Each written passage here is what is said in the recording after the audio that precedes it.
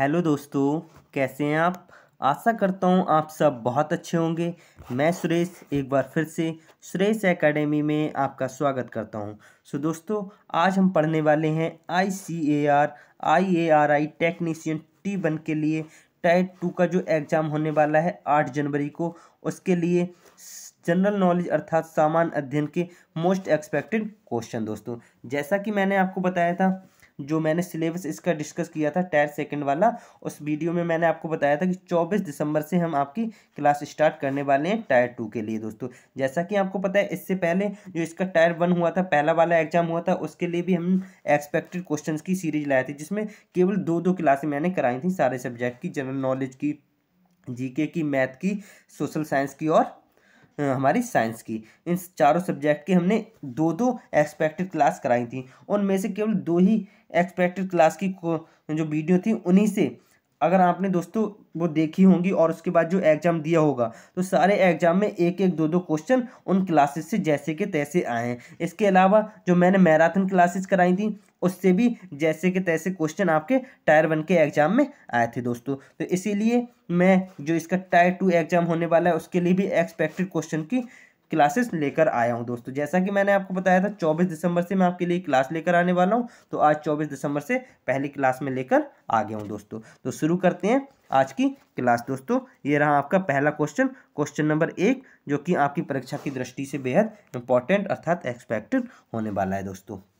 देख लेते हैं, पहला क्वेश्चन क्या कह रहा है दोस्तों? निम्नलिखित में से कौन सा आंदोलन 1930 में महात्मा गांधी जी के नेतृत्व में शुरू हुआ था? तो 1930 में जो महात्मा गांधी के नेतृत्व में जो आंदोलन हुआ था, वो कौन सा था? ये हमसे पूछा गया दोस्तों। सो दोस्तों, मैं आपको बता दूँ, ये जो 1930 में एक यात्रा चली थी महात्मा गांधी जी के द्वारा। कौन सी दोस्तों? जिसे हम कहते हैं दांडी यात्रा। वो कहाँ से कहाँ तक चली थी दोस्तों? साबरमती आश्रम से, साबरमती आश्रम से दांडी तक चली थी। साबरमती आश्रम से दांडी तक ये यात्रा चली थी। दोस्तों, जो कि 322 किलोमीटर था। साबरमती से दांडी कितना था दोस्तों? 322 किलोमीटर था। और अगर हम इसे मील में देखें तो ये लगभग 200 मील के करीब ये दूरी थी। तो साबरमती आश्रम से दांडी यात्रा, दांडी तक ये यात्रा चली गई, चली थी, जो कि महात्मा गांधी के नेतृत्व में चली थी, जिसमें seventy nine seventy nine plus एक एक खुद गांधी जी और सेवेंटी नाइन अर्थात उनासी अनुयायियों के साथ ये यात्रा शुरू की गई थी साबरमती से दांडी तक। सो दोस्तों, जब ये दांडी पहुँच गए थे महात्मा गांधी जी सेवेंटी नाइन अनुयायियों के साथ तो इन्होंने यहाँ पे जाकर क्या किया था दोस्तों? नमक कानून को तोड़ दिया था। क्या किया था दोस्तों? नमक कानून को इन्होंने तोड़ दिया था वहाँ पर पहुँच के। दोस्तों, ये जो यात्रा हुई थी, ये कब हुई थी दोस्तों? तो मैं आपको बता दूँ, इस साबरमती या साबरमती आश्रम से 12 मार्च 1930 को ये स्टार्ट हुई थी। और उसके बाद छः अप्रैल, अर्थात छः अप्रैल 1930 तक ये यात्रा चली थी। कब तक भाई दोस्तों? ये 12 मार्च से 6 अप्रैल तक ये यात्रा चली थी दोस्तों। और दोस्तों, इसमें 79 प्लस एक खुद गांधी जी, टोटल 80 लोग थे। सेवेंटी नाइन अनुयायी और एक खुद गांधी जी। और वहाँ पर पहुँच इन्होंने क्या किया था? नमक कानून तोड़ा था दोस्तों। क्या तोड़ा था? नमक कानून तोड़ा था। तो दोस्तों, जो यात्रा साबरमती आश्रम से दांडी यात्रा जो चली थी उसी यात्रा के दौरान महात्मा गांधी जी के द्वारा 1930 में ही क्या शुरू किया गया था? सबने अवज्ञा आंदोलन शुरू कर दिया गया था। कौन सा? सबने अवज्ञा आंदोलन शुरू कर दिया गया था। तो इस क्वेश्चन का जो राइट आंसर हो जाएगा, वो हो जाएगा ऑप्शन नंबर डी सबने अवज्ञा आंदोलन। तो सबने अवज्ञा आंदोलन 1930 में महात्मा गांधी जी के द्वारा शुरू किया गया था। इनके नेतृत्व में शुरू किया गया था, दोस्तों। तो इसका जो राइट आंसर हो जाएगा ऑप्शन नंबर डी इसके साथ ही, दोस्तों जो पहला दिया है, भारत छोड़ो आंदोलन। तो जो भारत छोड़ो आंदोलन है दोस्तों, ये 1942 में 1942 में ही महात्मा गांधी जी के द्वारा ही, महात्मा गांधी जी के नेतृत्व में ही भारत छोड़ो आंदोलन भी शुरू हुआ था दोस्तों। इसके साथ ही खिलाफत आंदोलन जो है, ये 1919 में किसके नेतृत्व में हुआ था दोस्तों? ये शौकत अली। कौन भी दोस्तों? शौकत अली और मोहम्मद अली के नेतृत्व में शुरू हुआ था दोस्तों। इसके साथ ही असहयोग आंदोलन असहयोग आंदोलन जो हुआ था दोस्तों, ये हुआ था 1920 में। 1920 में महात्मा गांधी जी के नेतृत्व में शुरू किया गया था असहयोग आंदोलन। और दोस्तों 1930 में जो महात्मा गांधी के द्वारा शुरू किया गया था, वो किया गया था सबने अवज्ञा आंदोलन। तो इस क्वेश्चन का जो राइट आंसर हो गया ऑप्शन नंबर डी हो गया दोस्तों। और दोस्तों, अभी जो मैंने आपको एक्सप्लेनेशन दिया था, समझाया था, वो अगर आपको समझ नहीं आया कोई शब्द तो आप इसको इस टाइप से लिखा हुआ देख सकते हैं। तो दोस्तों, मैं ऐसा ही एक्सप्लेनेशन सारे क्वेश्चंस का लेकर आया हूँ दोस्तों आपके लिए। तो दोस्तों, अगर आपको एक्सप्लेनेशन पसंद आया है और आपको ऐसा लग रहा है कि जिस टाइप का मैं एक्सप्लेनेशन दे रहा हूँ, वो केवल एक क्वेश्चन ही नहीं, लगभग छः सात क्वेश्चन को कवर कर रहा है। और आपको लग रहा है कि इस टाइप के क्वेश्चन आपके एग्ज़ाम में अर्थात टेक्नीशियन टी बन के टायर टू का जो एग्ज़ाम है, उसमें आ सकते हैं। तो आप क्या करेंगे दोस्तों क्लास को क्या करेंगे लाइक करेंगे अपने दोस्तों के साथ। शेयर करेंगे। और अगर आप चैनल पर नए हैं दोस्तों तो इस चैनल को क्या कर लेंगे? सब्सक्राइब ज़रूर कर लेंगे, जिससे कि हमारी लेटेस्ट वीडियो आप तक तुरंत ही पहुँच जाए। जैसे ही हम चैनल पे डालें। तो दोस्तों, ये रहा next question question number two ये रहा आपके सामने दोस्तों। संविधान की प्रस्तावना में संविधान संशोधन के द्वारा किन शब्दों को जोड़ा गया? तो संविधान की जो प्रस्तावना है, उसमें संशोधन किया गया था, तब कौन से शब्द जोड़े गए थे और किया गया था या नहीं किया गया था संशोधन, ये हमें पता होना चाहिए दोस्तों। तो दोस्तों, मैं आपको बता दूँ, ये जो संविधान की प्रस्तावना है प्रियम्बल ऑफ़ कॉन्स्टिट्यूशन जो है, इसे हम क्या कहते हैं दोस्तों? इसे हम संविधान की संविधान की कुंजी भी कहते हैं दोस्तों। क्या कहते हैं दोस्तों?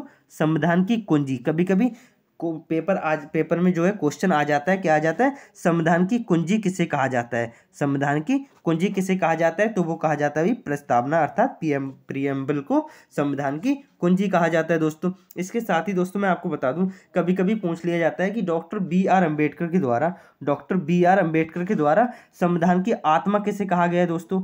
तो संविधान की आत्मा जो कहा गया है, वो कहा गया है आर्टिकल आर्टिकल बत्तीस को, आर्टिकल बत्तीस जिसमें संवैधानिक उपचार की बात की गई है। आर्टिकल बत्तीस को बी आर अंबेडकर के द्वारा संविधान की आत्मा कहा गया है दोस्तों। इसके साथ ही अब दोस्तों हम कर लेते हैं इस क्वेश्चन के बारे में बात। सो दोस्तों, उन्नीस सौ छिहत्तर में बयालीसवां संविधान संशोधन हुआ था। बयालीसवां संविधान संशोधन हुआ था उन्नीस सौ छिहत्तर में, जो कि कब लागू हुआ था दोस्तों? 1977 में लागू हुआ था। सो दोस्तों, इस जो संविधान संशोधन हुआ था बयालीसवां, इसमें जो प्रस्तावना थी, उसमें संशोधन किया गया था, पहली बार किया गया था और आखिरी बार किया गया था। मतलब आप कह सकते हो, अब तक केवल एक बार ही प्रस्तावना में संशोधन किया गया है दोस्तों। तो इस संशोधन में क्या किया गया था दोस्तों? जो प्रस्तावना है, उसमें तीन नए शब्दों को जोड़ा गया था। कौन कौन से शब्दों को जोड़ा गया था? वो जोड़ा गया था भाई पंथ निरपेक्ष को। समाजवाद को, अखंडता को। अर्थात इन तीनों शब्दों को जोड़ा गया था। तो इसका जो राइट आंसर हो जाएगा ऑप्शन नंबर डी हो जाएगा। तीनों शब्दों को संविधान की प्रस्तावना में संविधान संशोधन के द्वारा जोड़ा गया, जो कि बयालीसवां संविधान संशोधन था दोस्तों। इसके साथ ही दोस्तों, मैं आपको बता दूँ, ये जो बयालीसवां संविधान संशोधन था, इसमें एक नया भाग जोड़ा गया था, चार ए कौन सा भी दोस्तों? चार ए एक नए भाग को जोड़ा गया था। और दोस्तों, कई बार क्वेश्चन पूछ लिया जाता है एग्ज़ाम में कि जो बयालीसवां संविधान संशोधन है, इसे क्या कहा जाता है? सो दोस्तों, मैं आपको बता दूँ, जो बयालीसवां संविधान संशोधन है, इसे लघु संविधान भी कहा जाता है। क्या कहा जाता है, दोस्तों? लघु संविधान भी कहा जाता है। तो लघु संविधान किसे कहा जाता है, दोस्तों? बयालीसवें संविधान संशोधन, जो कि उन्नीस सौ छिहत्तर में हुआ था, इसे कहा जाता है, और ये उन्नीस सौ सतहत्तर में क्या हुआ था? लागू हुआ था, दोस्तों। तो इस क्वेश्चन का जो राइट आंसर हो जाता है, वो हो जाता है option number D D will be the right answer, दोस्तों। तो आगे बढ़ते हैं नेक्स्ट क्वेश्चन। और इसका भी एक्सप्लेनेशन ये देखो मैंने लिख के रखा है, दोस्तों, आप देख सकते हैं। अब देख लेते हैं नेक्स्ट क्वेश्चन क्वेश्चन नंबर तीन। क्या कह रहा है? देख लेते हैं। हाल ही में आईसीसी ने पुरुष क्रिकेट विश्व कप 2023 के लिए किसे वैश्विक राजदूत नामित किया है? तो दोस्तों, जैसा कि अभी आपका वर्ल्ड कप हुआ था, आपका क्रिकेट वर्ल्ड कप अभी अभी एक महीने पहले हुआ था तो इससे रिलेटेड कोई ना कोई क्वेश्चन आ सकता है, क्योंकि आपको पता है करंट इवेंट से रिलेटेड भी क्वेश्चन आपके एग्ज़ाम में आने वाले हैं दोस्तों। तो ये आपके लिए इंपॉर्टेंट हो जाता है। एक्चुअली मैं जितने क्वेश्चन मैं लेकर आया हूँ, सारे ही एक्सपेक्टेड हैं। परीक्षा की दृष्टि से बहुत ही ज़्यादा इंपॉर्टेंट होने वाले हैं दोस्तों।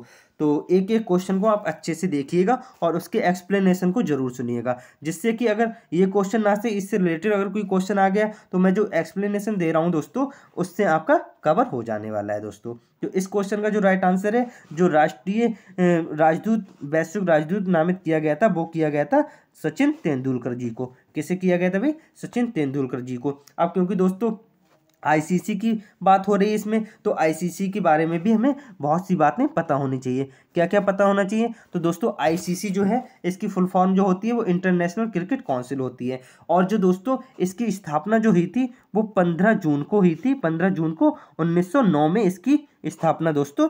हुई थी। इसके साथ ही दोस्तों, इसका जो हेड क्वार्टर है आईसीसी का जो हेड क्वार्टर है, वो है दुबई में। कहाँ है दोस्तों? दुबई में इसका हेड क्वार्टर है। दुबई में इसका हेड क्वार्टर दुबई यूएई में इसका हेड क्वार्टर दोस्तों। साथ ही इसके जो अध्यक्ष हैं, इसके जो चेयरमैन हैं, वो कौन है दोस्तों? चेयरमैन कौन है? ग्रेग बार्कले जी इसके चेयरमैन है। इसके साथ ही दोस्तों, आपको पता होना चाहिए, इसके जो सीईओ है, वो कौन है दोस्तों? जी ऑफ़ एलॉर्डिस कौन है दोस्तों? जी ऑफ़ एलॉर्डिस इसके सीईओ दोस्तों हैं। इसके साथ ही दोस्तों, क्योंकि वर्ल्ड कप की बात हो रही है, पुरुष वर्ल्ड कप की बात हो रही है तो हमें ये भी पता होना चाहिए कि अब तक अब तक 2023 तक तेरह संस्करण हो चुके हैं इसके वर्ल्ड कप के तो इनमें से सबसे ज़्यादा बार जो जीतने वाली टीम है, वो कौन सी टीम है, कहाँ की टीम है, ये बात भी हमें पता होनी चाहिए। तो दोस्तों, अभी जो 2023 में वर्ल्ड कप हुआ है, ये वर्ल्ड कप भी हमारी ऑस्ट्रेलिया जीती है। कौन जीती है भी? ऑस्ट्रेलिया जीती है। भारत को हराकर, अर्थात भारत हम कह सकते हैं, उपविजेता रहा है। तो ऑस्ट्रेलिया 2023 में भी जीत गई है। उससे पहले, दोस्तों, उन्नीस सतासी में जीती है, दोस्तों, निन्यानवे में जीती है 2003 में जीती है, दोस्तों 2003 में, और फिर उसके बाद दो हज़ार जो उन्नीस का हुआ था, इक्कीस में, उसे भी जीता है और दो हज़ार तेईस में जो हुआ है, इसे भी जीता है। तो टोटल मिलाकर हम कह सकते हैं जो ऑस्ट्रेलिया है अब तक छः बार। कितनी बार दोस्तों? सबसे ज़्यादा छः बार ऑस्ट्रेलिया अब तक पुरुष क्रिकेट वर्ल्ड कप जीत चुकी है, सबसे ज़्यादा छः बार। और दोस्तों, इसके साथ ही मैं आपको बता दूँ, जो हमारा भारत है जो हमारा भारत है। भारत अब तक दो बार विश्व कप जीत चुका है। एक तो उन्नीस सौ तिरासी में दोस्तों, एक तो उन्नीस सौ तिरासी में और 2011 में वर्ल्ड कप जीत चुका है दोस्तों। तो इस क्वेश्चन का जो राइट आंसर हो जाएगा ऑप्शन नंबर बी हो जाएगा option number B will be the right answer so दोस्तों, अगर आपको क्वेश्चन पसंद पसंद आ रहे हैं तो आप क्या करेंगे? क्लास को लाइक करेंगे, अपने दोस्तों के साथ शेयर करेंगे। और अगर आप चैनल पर नए हैं तो चैनल को सब्सक्राइब ज़रूर कर लेंगे दोस्तों हमारी लेटेस्ट वीडियो तुरंत पाने के लिए। तो आगे बढ़ते हैं नेक्स्ट क्वेश्चन क्वेश्चन नंबर चार ये रहा आपके सामने दोस्तों। सॉरी उत्तर पूर्व भारत की सेवन सिस्टर्स के अंतर्गत कौन कौन सा राज्य शामिल है और इसमें हमसे क्या पूछा है? शामिल नहीं है। क्या ये आपको अच्छे से देखना है? कौन सा राज्य शामिल नहीं है? तो इस क्वेश्चन का आंसर देने से पहले हमें क्या होना चाहिए? इसके जो सेवन सिस्टर्स देश, जो राज्य हैं, ये हमें पता होना चाहिए कौन कौन से हैं दोस्तों। तो दोस्तों, ऐसे ही अगर मैं आपको बता दूँ तो मैं आपको बता दूँ हमारा अरुणाचल प्रदेश है। कौन सा भी दोस्तों? अरुणाचल प्रदेश है। और फिर हमारा नागालैंड है। कौन सा? नागालैंड है, मणिपुर है, मिजोरम है, और हमारा मेघालय है, और त्रिपुरा है, और असम। ये हमारे क्या हैं दोस्तों? ये हमारे सेवन सिस्टर्स राज्य में आते हैं टोटल सात राज्य। लेकिन आप देख रहे हैं, पश्चिम बंगाल नहीं है तो पश्चिम बंगाली क्या हो जाएगा? राइट आंसर हो जाएगा इस क्वेश्चन का। Option number B Paschim Bangal. इसके साथ ही दोस्तों, मैं आपको मैप लेकर आया हूँ। मैप में आप देख सकते हैं, जो हमारी सेवन सिस्टर्स राज्य हैं, वो कौन कौन से हैं दोस्तों? इस टाइप से थोड़ा बड़ा करके आप इस टाइप से देख सकते हैं। तो दोस्तों, मैं आपको बता दूँ, उत्तर पूर्व जो राज्य है हमारे, ये कुछ इस टाइप से हैं। कुछ इस टाइप से हैं हमारे उत्तर पूर्व के राज्य। इसके अंदर जो राज्य हमारे आते हैं, उत्तर पूर्व में, ये सारे हमारे क्या सेवन सिस्टर्स कहलाते हैं। जैसे कि आप देख सकते हैं, अरुणाचल प्रदेश है और ये हमारा नागालैंड है, मणिपुर है, मिजोरम है, त्रिपुरा है, मेघालय है और असम है। ये टोटल सात राज्य क्या कहलाते हैं सेवन सिस्टर्स कहलाते हैं दोस्तों। तो अब आप समझ सकते हैं और आप समझ गए होंगे। तो दोस्तों, इसका एक्सप्लेनेशन भी मैंने आपको दिया है तो आप देख सकते हैं। अब आगे बढ़ते हैं। नेक्स्ट क्वेश्चन बेहद इंपॉर्टेंट क्वेश्चन अर्थात एक्सपेक्टेड क्वेश्चन ये जो क्वेश्चन है, इससे एक ना एक क्वेश्चन बन सकता है दोस्तों, आपके एग्ज़ाम में। तो देख लेते हैं, पहला क्वेश्चन क्वेश्चन नंबर पाँच जो है क्या कह रहा है? वर्ष 2023 में फिजियोलॉजी या मेडिसिन में नोबेल पुरस्कार किसे मिला है? तो जो फिजियोलॉजी अर्थात मेडिसिन है, इसमें नोबेल पुरस्कार किसे मिला है दोस्तों? तो इसका जो आंसर मैं आपको बता दूँ, वो है कैटालिक कैटालिन कैरिको और ड्रू बिस्मैन इन दोनों को मिलाया अर्थात ऑप्शन नंबर सी क्या हो जाएगा? राइट आंसर हो जाएगा दोस्तों। अब क्योंकि दोस्तों हम नोबेल प्राइज़ की बात कर रहे हैं तो हमें पता होना चाहिए नोबेल प्राइज़ के इतिहास के बारे में क्या क्या है। तो दोस्तों मैं आपको बता दूँ नोबेल प्राइज़ है, सबसे पहले जो दिया गया था 1901 में दिया गया था पहला नोबेल प्राइज़ इसके साथ ही दोस्तों, इसमें छः प्रकार के नोबेल प्राइज़ दिए जाते हैं। एक तो दिया जाता है दोस्तों मेडिसिन में दिया जाता है फिजिक्स में दिया जाता है केमिस्ट्री में दिया जाता है दोस्तों लिटरेचर में दिया जाता है और हमारा पीस में दिया जाता है इकोनॉमिक्स में दिया जाता है दोस्तों। तो दोस्तों ये नोबेल प्राइज़ कहाँ दिए जाते हैं? उस शहर का भी नाम हमें पता होना चाहिए। सो दोस्तों मैं आपको बता दूँ, हमारा जो मेडिसिन है फिजिक्स है केमिस्ट्री है लिटरेचर है और हमारा इकोनॉमिक्स है। ये हमारे कहाँ दिए जाते हैं दोस्तों? ये जो दिए जाते हैं, ये दिए जाते हैं स्वीडन में। कहाँ दिए जाते हैं दोस्तों? स्वीडन में दिए जाते हैं। और एक जो पीस प्राइज है, जो शांति का है, कौन सा है दोस्तों? जो शांति का नोबेल प्राइज है, वो हमारा दिया जाता है नॉर्वे में। कहाँ दिया जाता है? नॉर्वे में दिया जाता है तो ये आपके लिए इंपॉर्टेंट हो जाता है दोस्तों। कभी कभी पूछ लिया जाता है कि शांति का जो नोबेल प्राइज है, वो कहाँ दिया जाता है? तो वो नॉर्वे में दिया जाता है दोस्तों। और बाकी सारे हमारे स्वीडन में दिए जाते हैं दोस्तों। अब आगे बढ़ते हैं नेक्स्ट क्वेश्चन नेक्स्ट क्वेश्चन क्या? एक्चुअली इसका एक्सप्लेनेशन विद ट्रिक हम देख लें। जो दोस्तों, ये जो नोबेल प्राइज मिले हैं 2023 में 2023 में जो नोबेल प्राइज मिले हैं, इनको याद करने की जो ट्रिक है, वो भी हम देख लेते हैं। और मैं सारे के सारे आपको 2023 में जो नोबल प्राइज मिलने वाले हैं 10 दिसंबर को। दोस्तों, मैं आपको बता दूँ, ये जो नोबल प्राइज दिए जाते हैं 10 दिसंबर को ही दिए जाते हैं। कब दिए जाते हैं? दस दिसंबर को ही दिए जाते हैं, क्योंकि दोस्तों, क्या हुआ था? दस दिसंबर की तारीख को ही, दस दिसंबर को ही जो हमारे नोबल जी थे अल्फ्रेड जो नोवेल थे, उन्हीं के वजह से दिया जाता है, उन्हीं के नाम पर दिया जाता है, उन्हीं के द्वारा मतलब उन्हीं की याद में शुरू किए गए थे ये नोबेल प्राइज। तो वो दस दिसंबर को एक्सपायर हुए थे। तो उस वजह से दस दिसंबर को ही हर साल नोबेल प्राइज दिए जाते हैं। लेकिन बस इसकी, इनकी घोषणा पहले से कर दी गई है। लेकिन मिलेंगे नौ, दस दिसंबर को ही दोस्तों। तो देख लेते हैं फिजिक्स में। फिजिक्स में किसे मिल रहा है? पीरे एगोस्टनी और Ferenc Krausz, Anne L'Huillier तो दोस्तों हम इन्हें कैसे याद करेंगे? ये ट्रिक हमें पता होनी चाहिए दोस्तों। सो दोस्तों मैं आपको बता दूँ। आपको इस टाइप से याद कर सकते हैं फिजिक्स के नोबेल प्राइज किसे मिले हैं? फिजिक्स स्पीकर फेरे लिए। क्या लिखेंगे दोस्तों? कैसे याद करेंगे? Physics speaker physics speaker physics speaker फेरे लिए। फेरे लिए एनी ने। किसने भाई? फिजिक्स पीकर फेरे लिए एनी ने। क्योंकि कुछ लोग होते हैं ना शराब पी के दारू पीकर शादी के फेरे लेते हैं तो उसी प्रकार से आप याद कर सकते हैं फिजिक्स पीकर फिजिक्स स्पीकर फेरे लिए एनी ने। तो दोस्तों फिजिक्स से तो फिजिक्स हो गया फिजिक्स का नोबल प्राइज पीकर क्या हो गया दोस्तों? पीरे एगोस्टनी।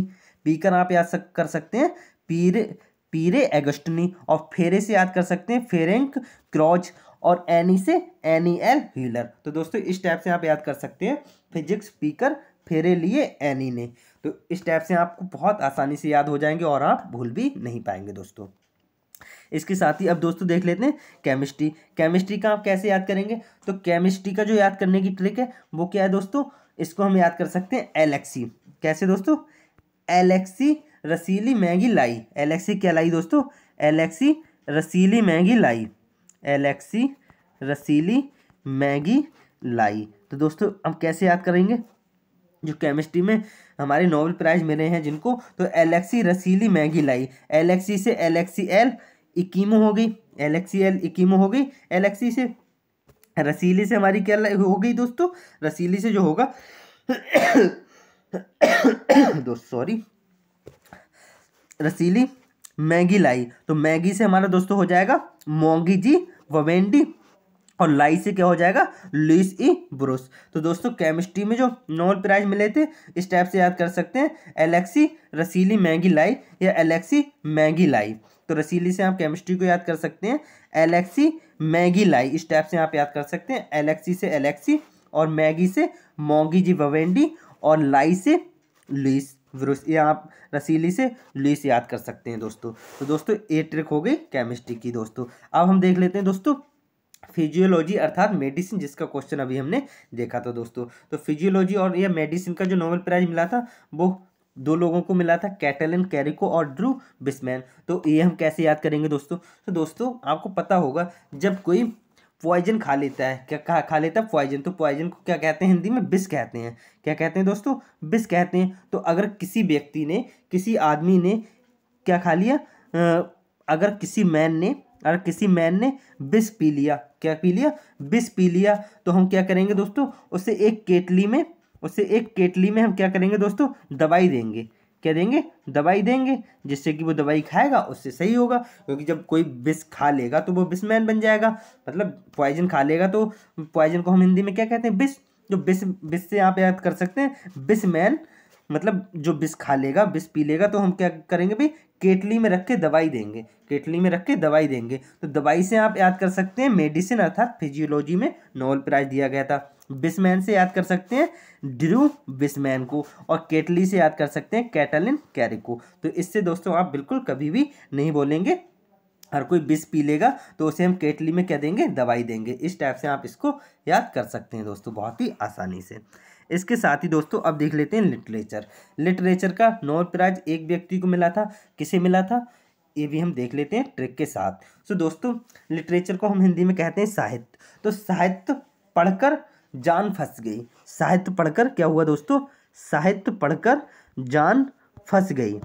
जान फंस गई कि भाई किसी ने साहित्य पढ़ लिया, उससे उसकी जान फंस गई। तो इससे आप याद कर सकते हैं साहित्य से साहित्य और जान फंस गई से जॉन फोसी। जॉन फोसी को लिटरेचर अर्थात साहित्य में नोबेल प्राइज मिला था, दोस्तों। इसके साथ ही, दोस्तों, अब हम देख लेते हैं पीस जो कि कहाँ दिया जाता है? एक बार फिर से बता दूँ दोस्तों, नॉर्वे में ये दिया जाता है। कहाँ दिया जाता है? नॉर्वे में ये दिया जाता है। बाकी सब स्वीडन में दिए जाते हैं। तो ये जो मिला है, नरगिस मोहम्मदी को मिला है। किसे मिला है? नरगिस मोहम्मदी को। तो आप इसको याद कर सकते हैं, नरगिस को शांति दो। क्या भी दोस्तों? नरगिस को शांति दो। नरगिस को शांति दो, तभी वो सही से रह पाएगी दोस्तों। तो नरगिस को शांति दो। तो शांति में किसे मिला है भाई? नरगिस मोहम्मदी को, जो कि ईरान की एक महिला है।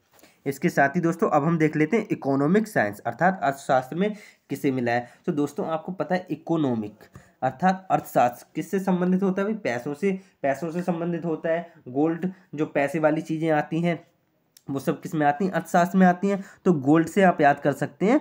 अर्थशास्त्र, इसको डायरेक्ट ऐसे ही याद कर सकते हैं। अगर गोल्ड वाली बात आ रही है, कहीं पे गोल्ड वाली बात आ रही है तो पैसों वाली बात आ रही है। और पैसा किसमें आता है अभी दोस्तों? अर्थशास्त्र में आता है। तो आप इसको याद कर सकते हैं। अर्थशास्त्र में जो मिला था क्लॉडिया गोल्डन को नोबल प्राइज मिला था दोस्तों। तो इस तरह से आप सारे नोबल प्राइज आसानी से ट्रिक के साथ याद कर सकते हैं, जिससे कि कभी ना भूल पाएँ और एग्ज़ाम में आए।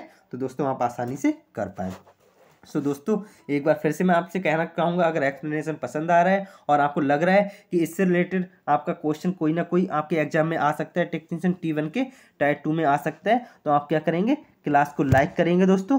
क्लास को लाइक करेंगे अपने दोस्तों के साथ शेयर करेंगे और अगर आप चैनल पर नए हैं दोस्तों तो क्या करेंगे? चैनल को सब्सक्राइब ज़रूर कर लेंगे हमारी लेटेस्ट वीडियो तुरंत पाने के लिए दोस्तों।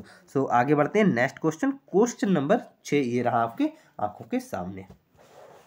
निम्नलिखित में से कौन सी नृत्य शैली दक्षिण भारत से संबंधित नहीं है दोस्तों? कौन सी नृत्य शैली दक्षिण भारत से संबंधित नहीं है? तो दोस्तों, जब टेक्नीशियन टी वन का जो टायर वन का एग्ज़ाम हुआ था, तब मैंने एक सेपरेट वीडियो शास्त्रीय नृत्य की कराई थी। एक शास्त्रीय नृत्य की, एक अलग से वीडियो कराई थी, सात मिनट की थी केवल। पाँच छः सात मिनट की एक वीडियो थी, उसमें मैंने सारे के सारे शास्त्रीय नृत्य कराए थे, जिससे रिलेटेड भी क्वेश्चन आपके एग्ज़ाम में आए थे दोस्तों। तो वो अगर आप नहीं देखी है तो वो आप देख लेना दोस्तों। तो इस क्वेश्चन का जो राइट आंसर होगा, वो क्या हो जाएगा दोस्तों? देख लेते हैं। दक्षिण भारत से संबंधित नहीं है। तो दक्षिण भारत, भरतनाट्यम जो है दोस्तों, जो हमारा भरतनाट्यम है, ये हमारा कहाँ का है दोस्तों? ये तमिलनाडु का है। ये कहाँ का है दोस्तों? तमिलनाडु का ये हमारा नृत्य है, भरतनाट्यम। अब आपको पता है भरतनाट्यम तमिलनाडु का है तो तमिलनाडु कहाँ आता है भाई? नीचे ही आता है। कहाँ आता है भाई? दक्षिण साइड में ही आता है यहाँ पे। तो ये तमिलनाडु हो गया दोस्तों, दक्षिण साइड का। तो ये तो हमारा आंसर हो नहीं सकता क्योंकि हमसे जो दक्षिण भारत से संबंधित नहीं है, वो हमसे पूछा है दोस्तों। मोहिनीअट्टम मोहिनीअट्टम जो है हमारा, वो है केरल का। मोहिनीअट्टम दोस्तों कहाँ का है? केरल राज्य का है। मोहिनीअट्टम केरल का है। और साथ ही दोस्तों, जो कथक है, कथर ये हमारा उत्तर भारत का है दोस्तों। कहाँ है? उत्तर भारत का हमारा कौन सा है? कथक है। लेकिन जो कथकली है, वो भी हमारा केरल का है मतलब मोहिनी अट्टम और कथकली, ये दोनों हमारे कहाँ के हैं दोस्तों? ये केरल के हैं। और जो हमारा भरतनाट्यम है, वो तमिलनाडु का है और कथक जो है उत्तर भारत का है। तो तमिलनाडु और केरल हमारे दक्षिण भारत में पाए जाते हैं तो ये तो हमारा आंसर होगा नहीं, क्योंकि हमसे पूछा नहीं है। तो इसका जो राइट आंसर हो जाएगा, वो हो जाएगा कथक। कथक क्या हो जाएगा? बिल्कुल राइट आंसर हो जाएगा इस क्वेश्चन का, जो कि उत्तर भारत का एक शास्त्रीय नृत्य है दोस्तों। ठीक है? इसके साथ ही दोस्तों मैं आपको बता दूँगा ये जो कुचिपुड़ी है, कुचिपुड़ी जो शास्त्रीय नृत्य है, ये आंध्र प्रदेश का है। कहाँ का है दोस्तों? आंध्र प्रदेश का है। और जो सत्रिय है, वो असम का है। छऊ जो है, वो झारखंड का है। ये दोस्तों मैंने आपको सारे बता दिए और इसका जो एक्सप्लेनेशन है, वो यहाँ पे मैंने लिख दिया दोस्तों। अब आगे बढ़ते हैं नेक्स्ट क्वेश्चन क्वेश्चन नंबर सात, ये रहा आपके सामने। 108वीं भारतीय विज्ञान कांग्रेस का आयोजन कहाँ हुआ है? तो इसका आयोजन कहाँ हुआ है, ये हमसे पूछा गया है दोस्तों। तो मैं आपको बता दूँ, इसका तो राइट आंसर हो जाएगा नागपुर महाराष्ट्र। कहाँ हो जाएगा? Nagpur Maharashtra option number A क्या हो जाएगा? बिल्कुल राइट आंसर हो जाएगा। 108वीं जो भारतीय विज्ञान कांग्रेस का आयोजन हुआ था, वो नागपुर महाराष्ट्र में हुआ था। इसके साथ ही दोस्तों 109वीं जो 109वीं भारतीय विज्ञान कांग्रेस का जो आयोजन होने वाला है, वो कहाँ होने वाला है दोस्तों? वो होने वाला है दोस्तों हमारा पंजाब में। कहाँ होने वाला है दोस्तों? पंजाब में ये हमारा होने वाला है दोस्तों। अब आगे बढ़ते हैं। नेक्स्ट क्वेश्चन, जैसा कि आपको मैंने लिख के रखा है, एक सौ नौवा इंडियन नेशनल कांग्रेस कहाँ होने वाली है? L Punjab. Lovely Professional University Punjab में ये होने वाला है दोस्तों।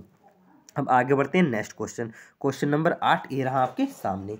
चीनी विद्वान हैन सॉन्ग ने किस स्थान पर बौद्ध धर्म ग्रंथों का अध्ययन किया था, ये हमसे पूछा गया है। क्या पूछा गया दोस्तों? जो चीनी विद्वान हैन सॉन्ग थे, जो चीन से आए थे, इन्होंने बौद्ध धर्म ग्रंथों का अध्ययन किस स्थान पर किया था, ये हमसे पूछा गया है। तो दोस्तों, मैं आपको बता दूँ, जो हमारे ये हैंसोंग थे, एक चीनी यात्री थे, जो कि हमारे भारत में आए थे।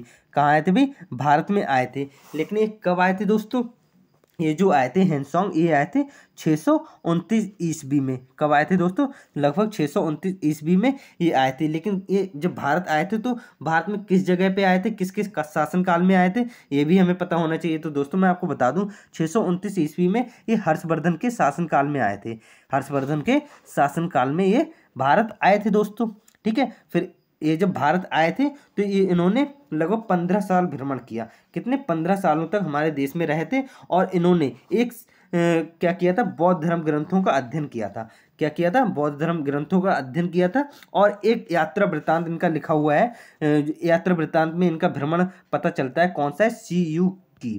सी यू की नाम का एक प्रसिद्ध या भ्रमण वृत्तांत है जिससे हमें पता चलता है कि हैंसोंग जो चीनी विद्वान थे, हमारे देश में आए थे और बौद्ध धर्म ग्रंथों का अध्ययन किया था और ये किस स्थान पर किया था? ये भी सी यू की में लिखा है, ये लिखा है विजयवाड़ा में, कि दोस्तों इन्होंने विजयवाड़ा में बौद्ध धर्म ग्रंथों का अध्ययन किया था। कहाँ किया था दोस्तों?